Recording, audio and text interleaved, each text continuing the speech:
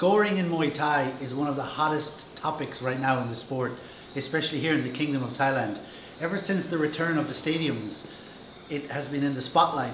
There have been some decisions, lots of fans have not agreed with, some decisions, some ring officials have not agreed with, and more importantly, stadium owners and executives as well have not agreed with. So in the, over the past five weeks with the new shutdown of the stadiums, the uh, executives and ring official committees from Channel 7, Lumpini and Rajadamnern have got together in their own little uh, worlds and decided to review all of the scoring criterias for the stadiums and then once those criterias are set and agreed with the, with the SAT, they will be teaching their ring officials um, on different nuances and upskilling of scoring at the stadiums.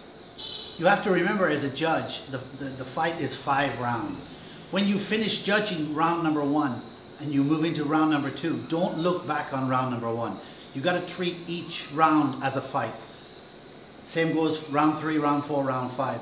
Um, again, you see there's a lot of difficulties with uh, judging in Thailand in the sense that some of the stadiums, their judges would uh, be less lenient towards scoring a winner in rounds one or five, depending on the nuances of the local stadium. But you have to remember all of the criteria for scoring is set out by the Sports Authority of Thailand.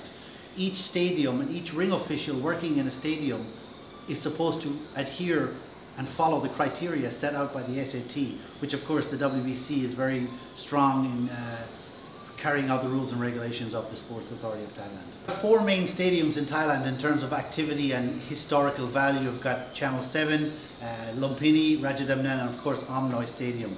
Now again, going back to what I mentioned earlier, all of the ring officials at those stadiums are supposed to follow a set of criteria, rules and regulations set out by the Sports Authority of Thailand. Now, different stadiums, for example, Channel 7 Stadium, pre-fight, the head of the, w, the, Channel 7 Ring Officials Committee, Mr. Dr. Tawut uh, Plum Samran, he and the main executive of Channel 7 will take all the fighters into a room about half an hour before the show. And because Channel 7 is action-packed and, one, and the highest rated TV show in Thailand, round one and round five, they actually have a KO bonus. They don't publicize it, but they do have it. So the the, uh, the scoring at Channel 7 is a little different towards uh, Lumpini and Rajadamnern. The officials, the uh, and Lumpini, tend to look at fights differently, uh, score the, the earlier round, the earlier round, the opening round, and the uh, final round a little bit differently than they would rounds two, three, and four. But to set the record straight, all of the rules and regulations are set by the SAT. The stadiums are supposed to follow it, but we all know, and we're not naive to say that they have different nuances on how they score. All aspiring Thai referees and judges serve an apprentice, an apprenticeship. They're an apprentice. They don't get a certificate to say they're a judge or a referee and then go out and start judging fights. They serve their time. They ghost judge. They, they spend years watching fights, adjudicating fights, picking the brains of the senior officials on their teams. And it all comes down to experience. Experience builds knowledge, and of course, it's got to be competent experience and competent knowledge. But to answer your question, a good ring official in Thailand uh, is not just created, they're molded over time with experience. We, we put a big emphasis at the WBC Muay Thai on sharing knowledge. Again, come back to the term competent knowledge. We're not big on handing out certificates or level one, two, or three. It all comes with experience. Um, so to become a good WBC Muay Thai judge, it comes down to your we evaluate you on past experience. If you were a judge in at 10 fights in London, we will watch those fights, Mr. Tawut and I, and we will uh, obviously we need the information, pre-information in terms of uh, how you scored those fights, but we use things like that in the context, also how long you've been in the sport, how many uh, fights you have refereed, how many fights you've been a judge at in total, and of course, during the seminars, how many questions are you asking? How much logic is in those questions? How much information are you retaining? Again, I will emphasize the WBC Muay Thai seminars are not about handing out certificates, they're about sharing knowledge, knowledge that will be used to better the sport. I think if you're an aspiring judge, sit down and watch um, judge fights at Lumpini, Rajadamnern and Channel 7 and you will walk away scratching your head in terms of the nuances and the differences of how you perceive those fights to be judged. great resources such as uh, Muay Thai's on YouTube with HD fights. Uh, watch, go back when Timo was uploading fights in 2012, 13, 14, 15, 16 and watch and try to judge a full fight at Rajadamnern and try to watch the same two fighters if you can get them and there are fights, I can go into detail on that again later, fighting at Lumpini.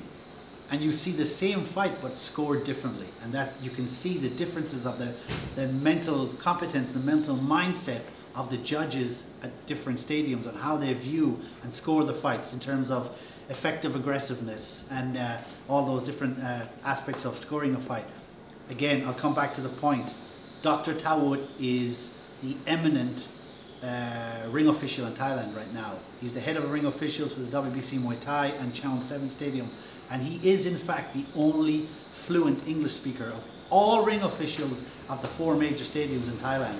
And he's a great guy to pick his brain, which I do. He gets a little bored of me, but hey, what, what what's all right.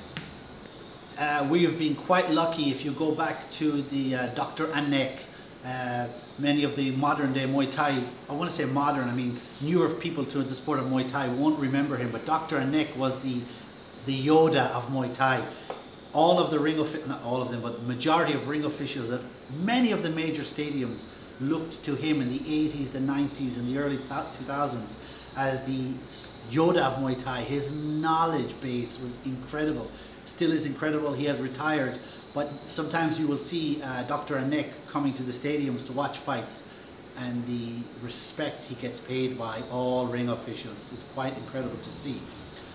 And then continuing down, Dr. Tawut, uh, the head of our ring officials, he was like an apprentice, so to speak, of Dr. Anek, and he has he was nurtured by him and his knowledge is incredible as well. So we've been quite lucky in the sense that Dr. Tawut has been able to educate and uh, show all of our ring officials to keep a competent level of knowledge and scoring in the mindset.